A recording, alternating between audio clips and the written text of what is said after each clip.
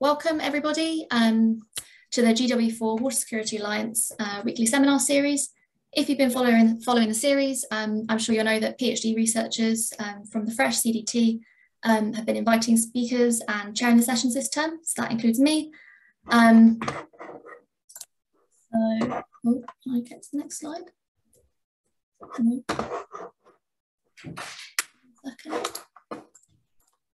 There we go.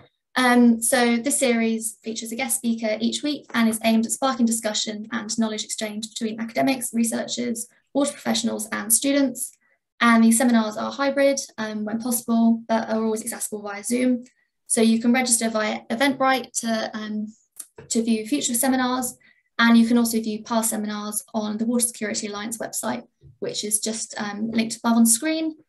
Um, if you're a member of the Water Security Alliance Early Career Researchers com community um, and you're interested in chairing a session in the future, um, you can contact WSA info at cardiff.ac.uk. Um, and I'm sure someone can post that in the chat for you, or I can um, if you're interested.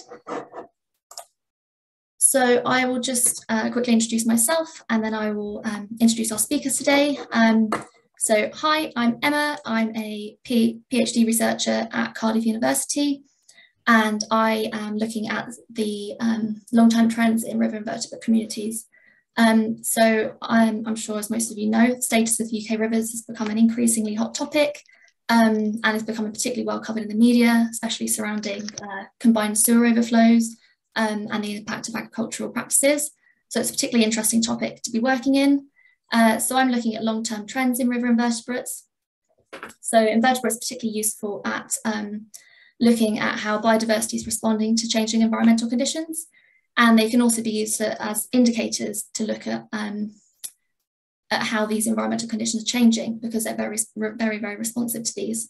Um, and they're also fairly easy to collect and they're routinely collected and monitored by the Environment Agency and NRW. So I'm working with this um, routine monitoring data collected over almost 30 years from 1991 to 2019 to try and identify national trends in, for example, family richness, um, or also and also looking at the communities present and how this is changing.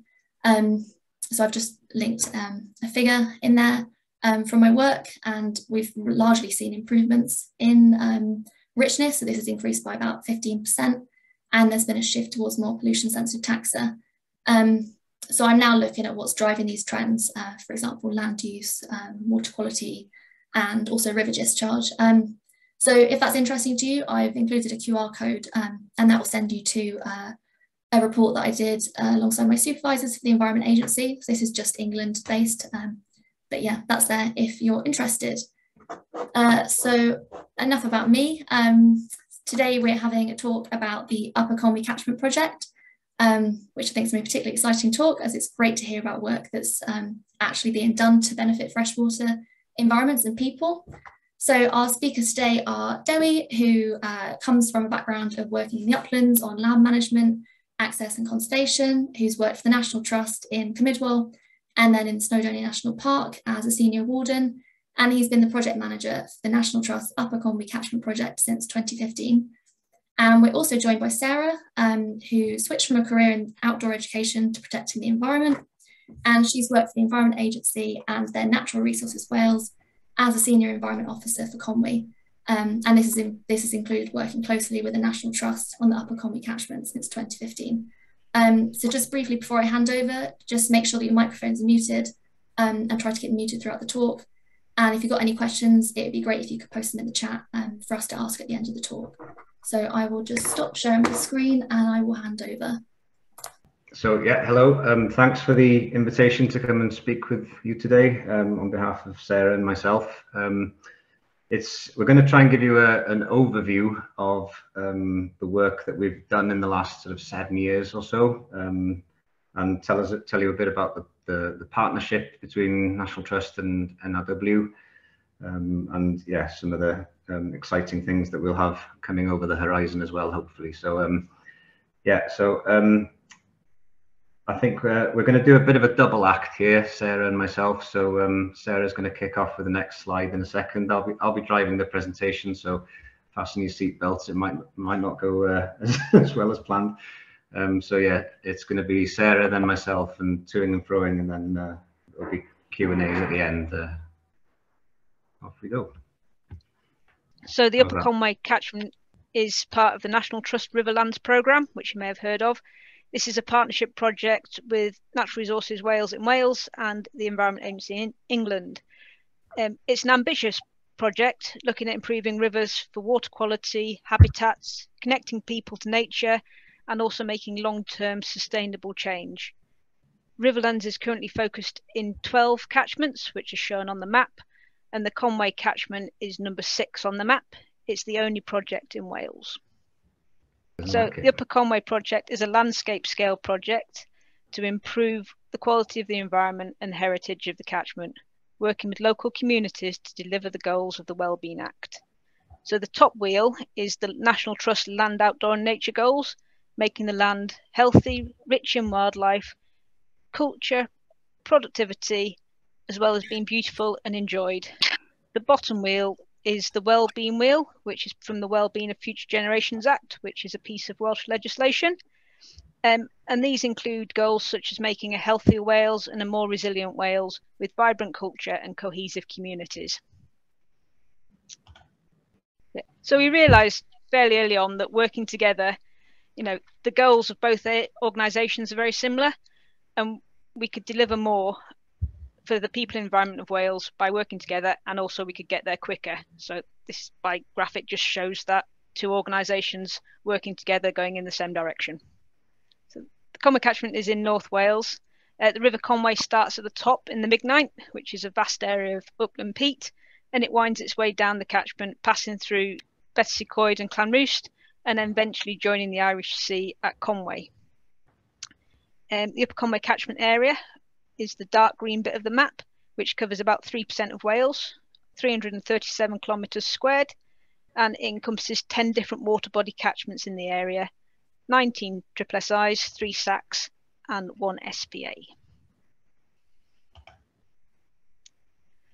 So if we zoom in a bit further into that dark green area, um, the land in green is Welsh Government estate managed by Natural Resources Wales, and the land in orange is National Trust owned land, often with 10 farmers in place. So we looked at the land and went, I've got about 50% of the land between the two organisations to show change. And then we found that Voelas Estate, which is a private estate in yellow, is also a big landowner in the area as well. And they also agreed to come on as part of the project. So between, you know, those three partners, we've got ownership over 70% of the land in the area, which means it's a good place you can actually show and demonstrate landscape scale change. Thank you, Sarah. Um, over to me, I believe. Um, so yeah, sorry about the, the, the slide glitches there. I'm going to stick to this format because it uh, seems to be working better. Um, so where did the project begin? Um, it started um, pretty much where the river starts at, at the head of the catchment um, on the Mignaint, which is a um, large area of blanket bog, um, which is parts of which are owned by the National Trust. and it all began with peatland restoration probably going back to 2007, we, we reckon, when the first sort of um, tentative steps were, were taken towards doing um, restoration of this, this uh, modified landscape. Um, so the ditches that you see in the, in the main photo there um, were, were, put in over various stages and various phases of time, really. Um, and they were done predominantly by, um, well, initially by the Penrhyn estate, um, associated with Penrhyn Castle. So the the estate in um, in our uh, part of Snowdonia was under the ownership of the Penrhyn estate, and then it came to the National Trust in 1951. Um, so during that time, it was um, ditches were dug in the peatland, and this was to enable um, an improved sort of grouse shooting estate, and subsequently more sort of agricultural improvements as well for grazing. Since, well, about 2000, um, there, there have been various phases of um, ditch blocking. Um, so basically trying to uh, fill in those man-made ditches as much as we could. Um, and we reckon, it's a ballpark figure, but we reckon about 400 kilometres of ditches have um, by now been blocked. um, which entails about 40,000 separate peat dams uh, installed. Some of the um, some of the reasons behind this have, varied um, according to the sort of uh, the funds and the drivers behind doing doing this kind of work. But actually, what it show, showed us is um, we can have multiple benefits from restoring peatland. So some of it um, in the past has been done for carbon and habitat. Um, some has been done for water quality improvements, and then you know when you when you've done enough of it and you get to see the results, you can actually see that there are other things that um, are the benefits to doing the work as well. So um, we were focused uh, initially on flood resilience, um, slowing the flow of water by blocking these big ditches and and um, increasing the sort of roughness and uh, of the surface area. But then obviously if you re-wet a landscape as well, you you improve resilience to, to drought and to, to fire as well. So um, and then the, the overarching principle that we've always, you know, uh, tried to hold on to really is that um, this land is actually tenanted, it's farmed, and there's the heritage aspect to it as well. So um, although the, the grazing levels with sheep have fluctuated from, from very high to, um, to pretty low, which is how they are today, um, you know, sheep farming has been the sort of dominant way of life um, and the, the heft system um, belonging to each farm as well has been quite a, a key thing for us to, to conserve here as well. So um, yeah, all, all, of that work has had to happen in, in conversation with, with many people. So um, some of whom are included on this slide. Uh, so lots of different partners over the years and we've done more um, at various times with, with some of them. The core partnership is, um, I was going to say myself and Sarah here in this uh, in, in this project, but it's actually um, there's an awful lot of people behind both of us in in our organisations that that help us undertake a lot of this work and um, make it happen. So um, we just happen to be the, the leads on the project, um, pulling it all together really. So uh, national park, obviously, there's a there's a big chunk. The, the the majority of the land of the catchment is actually within Snowdonia National Park as well. Um, so we work a lot with the, the National Park team um, on various bits of work. Um, RSPB as well have got a, a, a vested interest in and um, lots of the Mignaint as a blanket bog for some of the species that it hosts as well. So um, some very important bird species um, uh, live slash thrive up on the Mignaint, whereas in other places not not doing so well. So um, and then there's different organizations and local authorities um, and institu institutions that help us with some of the monitoring, um, some of the research behind a lot of the work that we do. Um, but I think that, you know, there's, there's always um, room for new partners and always room for sort of more um, or deeper conversations with existing partners as well. So the river catchments within its uh, the catchment is, is the headwaters really. So everything upstream of Betws um, in Snowdonia is kind of how we how we've um, uh, chunked this down really to to in terms of the delivery on the ground. So when we're looking at um, doing bits of work in various sub-catchments, we, we sort of break it down to these 10 water bodies um, uh, upstream from Betws So um, that map shows where many of them are. And then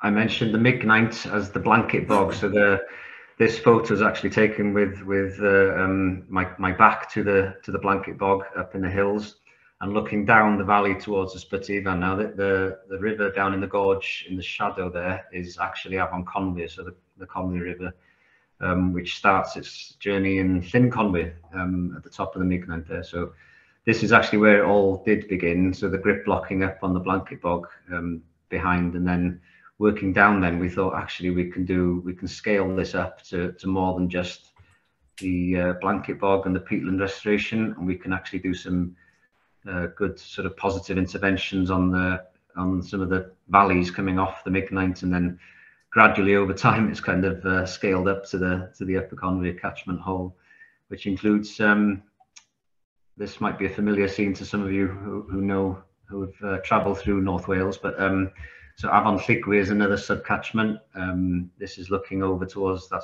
silhouetted peak in the middle there is Tryfan, and then Llyn in the background there, uh, the lake there. So the A5 comes right through this valley here, the Ogwen Valley. Um, this is actually one of the tributaries, uh, one of the sub-catchments of, of Afon Conwy, which comes as a bit of a surprise to some people actually, that, um, who aren't used to thinking in terms of catchments. Um, they, they sort of look at you like you've got two heads when you mention that this water, that every drop of rain that drop, uh, falls here actually ends up in the Conwy. Um, and then next valley along, you've got Nant y Gwryd. Uh, so this is upstream again from Capel Curig. The peak in the middle there with a cloud around it is actually Snowdon, so the Snowdon Horseshoe there. um, the lakes there, uh, uh, Llanamymbir, so up from Pass of Penny in the mountain centre. That's so that's one area we've been focusing as well. And then moving to the sort of south and again to the east again, um, there's, there's the Machno Valley, so Avon Machno, and I think this is one of the um, earlier focus areas that we we um, undertook some some work to to make some good uh, positive changes. So um, the farm I'm about to mention, if you just uh, look at the middle of this photo here, so where the sun's coming through the valley on the left, there, it, it actually um, highlights quite nicely where um, where I'm about to talk about. So the farm is called Carrog, and it's in um, Cwm Pen the head of the Machno Valley. And we, the National Trust bought this farm in 2016. Um, not as a, a, a, typical National Trust acquisition, which is basically, you know, um, buy something if it's under threat or if it's um, in fantastic condition and we want to keep it. So this was seen as a sort of a strategic um, uh, acquisition where we could um, work with the community and um, improve um, nature, basically, um, in a nutshell, um, and maybe restore some of the natural processes and systems that had been previous to, to sort of um, agricultural intervention and, and landscape um, interventions over the last sort of 50 years or so or more, 70 years. Um, so the, the vision for Carrog was, um, as, as, it sets out there, we, we, we started with a, a bit of a, um, just a, a, brain dump really of what, what should be done, what it could look like for nature. So um, many of the habitats were in um, okay condition, could do better. Um, there was definitely potential for, for restoration there. So hay meadows, light grazing on the ffridd, wood pasture, um, increase the hedgerow um, cover there as well. And then one of the biggest parts that we thought we could do some good positive change to was um, the Afon Machno itself, the river, which has been heavily modified um, over the past, well, several, many decades.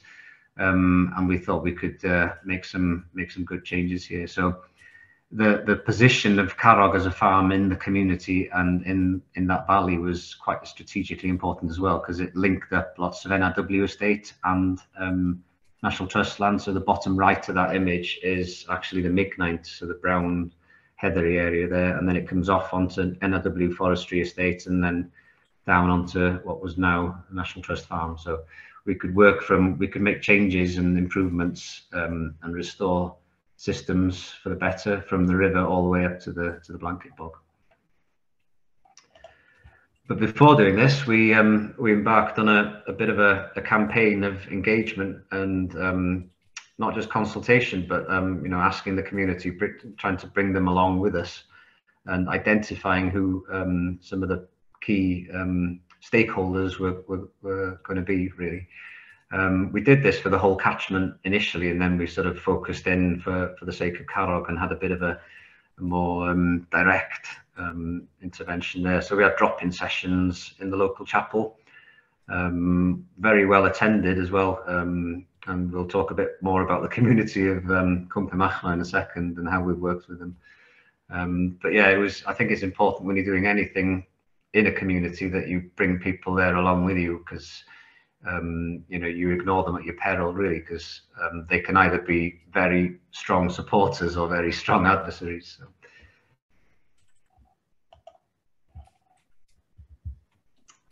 Over to you, Sarah. Oh, fuck Yep, thanks, Dow. Um, so, as Dow said, it has taken a long time to, to go from a, a planning phase in what could be done, getting those options reports through, bringing the community with us, um, lots of drop-in sessions, lots of river walks to explain what we were doing and why, because people, you know, had seen that river being maintained and managed, um, basically dredged to keep it as it was, and that's how they thought it should have been managed. So changing that perception, then getting all the permits and everything in place, and to actually start doing the work took the best part of four years. But by bringing the community with us, it meant when we came to apply for planning permissions and all the various permits we needed, they were supported by the community, which meant, you know, we actually got the go ahead to start works.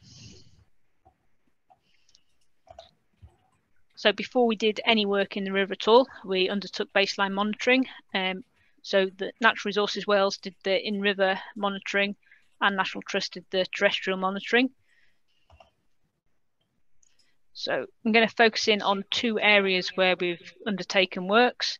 Um, they're shown on point one and two on that map, and you can see just how straight and managed that river was um, before we started the works. So this picture is taken from point one on the map. Um, basically, the river, as Dow says, has been dredged, and all the dredgings were put on that left-hand side, and that shingle bank was nearly two meters high um, and probably two to three meters wide at the base, just to give you an idea of the volume. And the river itself, when we did river profiles, was like um, a canal. So basically, it went down for about you know 40 centimeters, stayed at the same depth all the way across, and came back up the other side. So there's no variation or change in flow really at all. Um, one of the major problems we had was trying to get all of that shingle across to the other side of the river um, without causing masses of sediment and disturbance downstream. So we had a bit of discussion of how to do that and what would you do if you're working in a forest? And then we discussed you know skylines. And eventually that came into the idea of using a conveyor belt. So the project officer at the time di roberts looked around and came up with the monsterveyor which is just a giant conveyor belt really um, so this was put in, and the digger crossed the river once to get to the other side, and then started, you know, digging away that embankment. Again, this is just to give you an idea of scale for how much material was in that embankment. The monster monsterveyor worked really well. And then this was it, taken out completely. So what it looked like when we'd taken that embankment away. Oh, fucking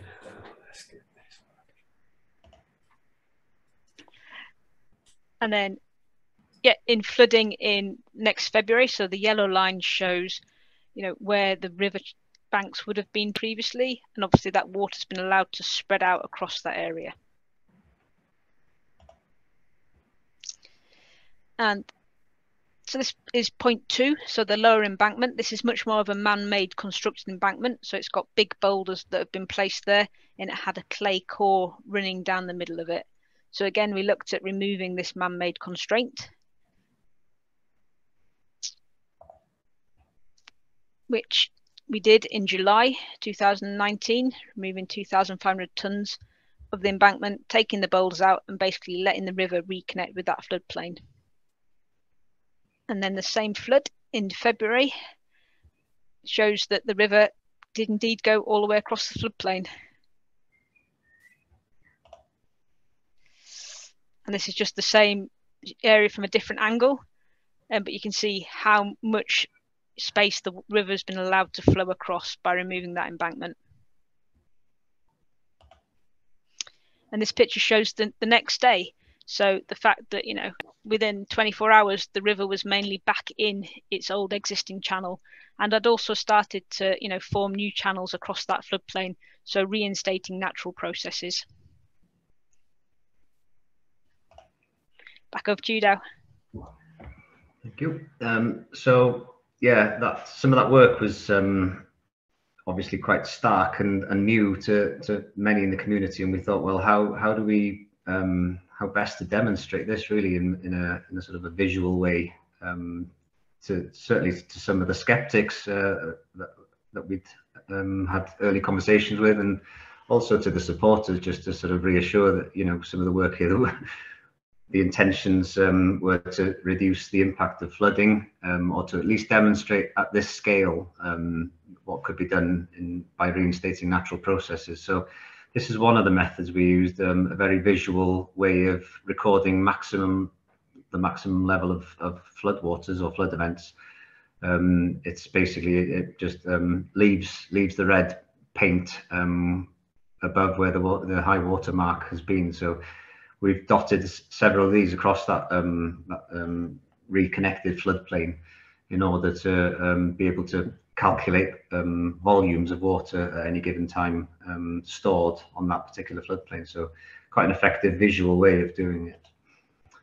Um, again, with the visual demonstration and monitoring, it's quite important. Things things happen and change quite quickly when you're when you're working in this kind of um, very active and high energy um, landscape really so um, I think it's important to keep that kind of photo record as we can and um, the intention was to get the community involved in doing sort of um, regular photo photo monitoring and record keeping and then obviously the, the pandemic hit so um, we weren't able to to to do that and as hoped so um, that is something we'd like them to, to um, take on board and, and help us with actually. So um, uh, I think that would, you know, um, improve any sort of involvement with the community, improves their um, buy-in and ownership of the, of the kind of work that we're doing as well.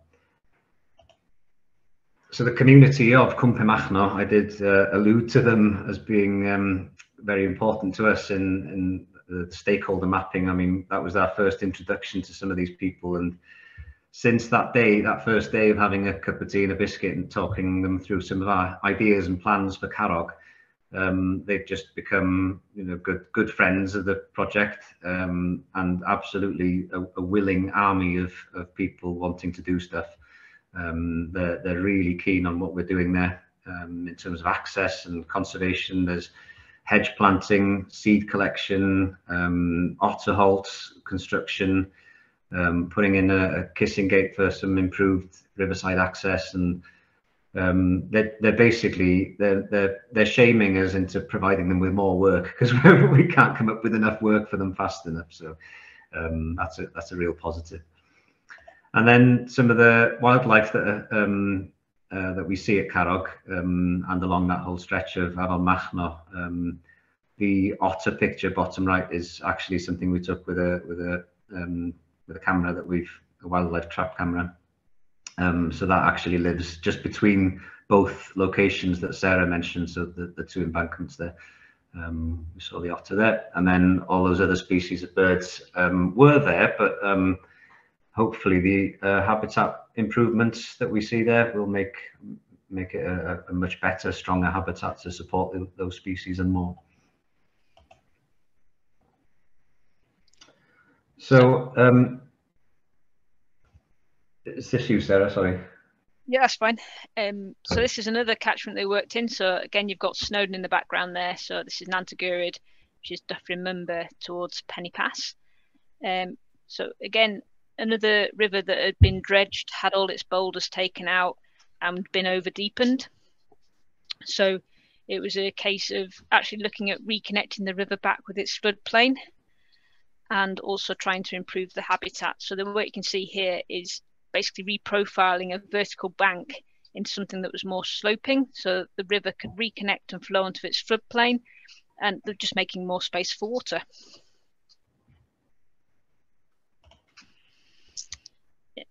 The river bank was held in place with, with lots of big boulders or riprap all the way along the side.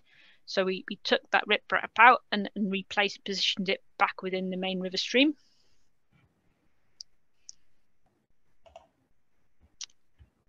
And then this, this is what it looked like when it's finished. So we've got boulders in, which gives you a variation in flow, and also the, the bank that had been reprofiled behind. And as we are a catchment-wide project, we also looked at planting trees and increasing the scattered feed cover, um, planting within cages to still allow grazing of cattle in the area, but also having that sapling protected. So we did that first phase back in 2020, and the tenant was really pleased with how it had gone and how it held up. So he asked us to, to do a bit more this year. So we reprofiled another 200 metre section of riverbank. So this is the local contractor doing that work for us. So you can see the turf was overhanging. We basically scooped that back, reprofiled the bank, and then put the turf back on it. So that's providing, you know, as well as letting the river move, plant up that corridor with a nice wide buffer strip, giving shade to the river and also creating extra habitat and wildlife corridor.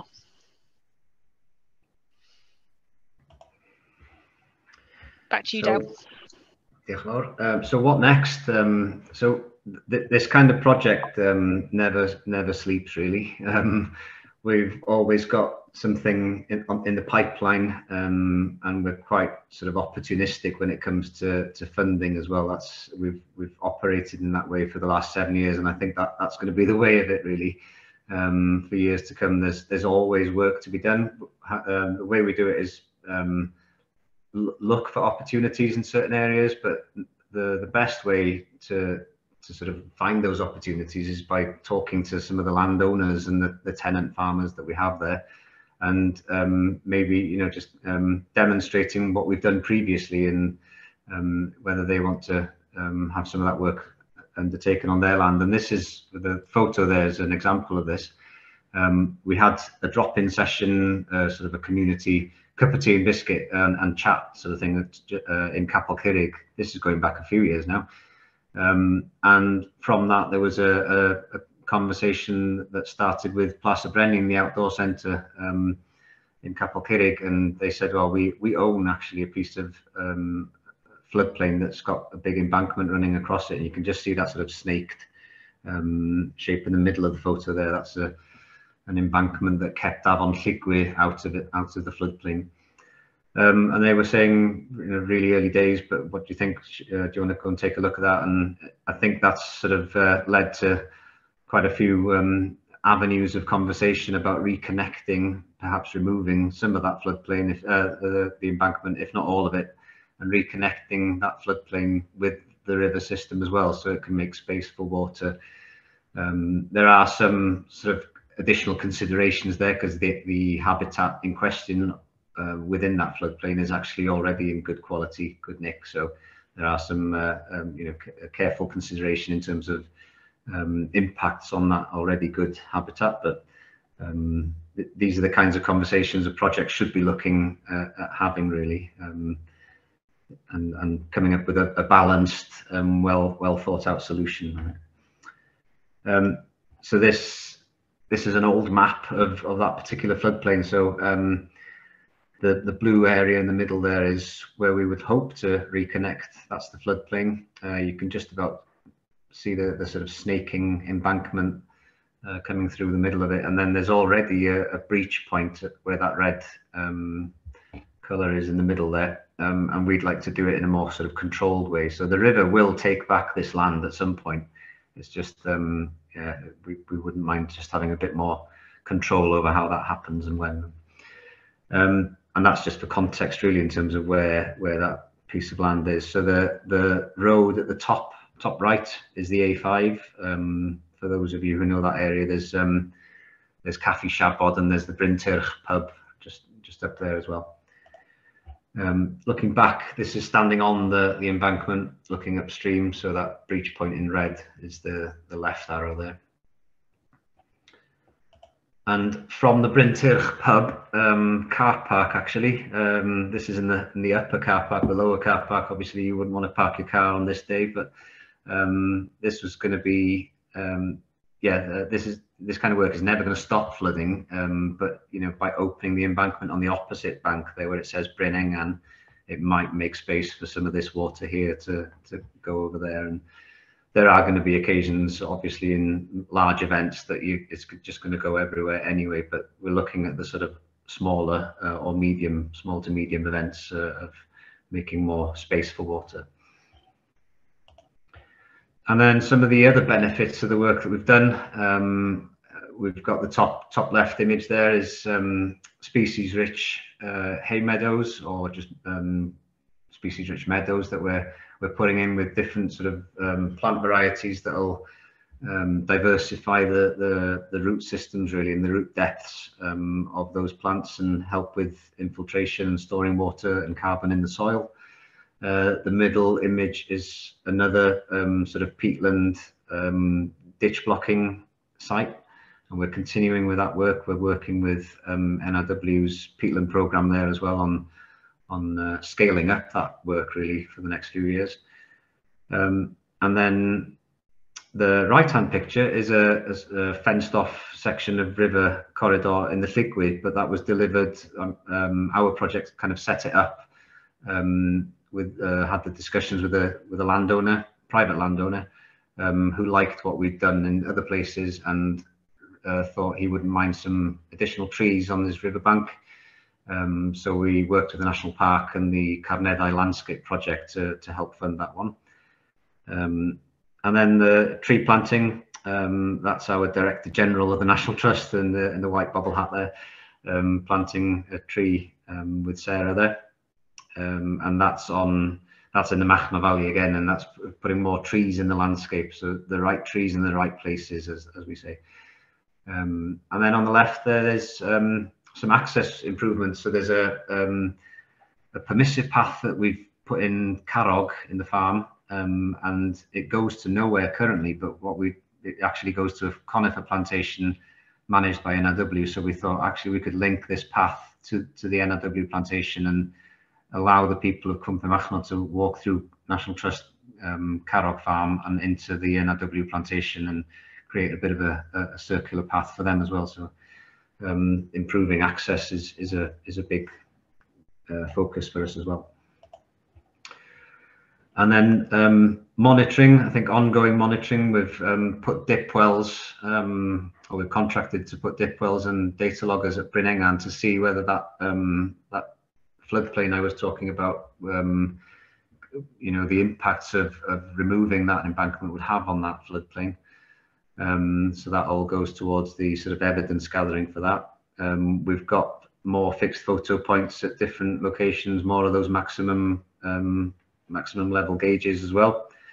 Uh, the, the two middle photos there. And then the right hand image is um, uh, some of the peatland monitoring work that we're putting in, baselining um, some of the hydrology uh, on our peatland sites just to see where the water table is and um, yeah, checking the sort of peat uh, or measuring the, peat, the accumulation of peat over the next few years as we as we continue to work there. So um, yeah, establishing baseline now really for any future works is, is a key thing. So. And there's so much more to say, um, and hopefully we can come back in a few years and say a bit more, but um, that's it for now. Um, and I think we're opening for, for Q&A now.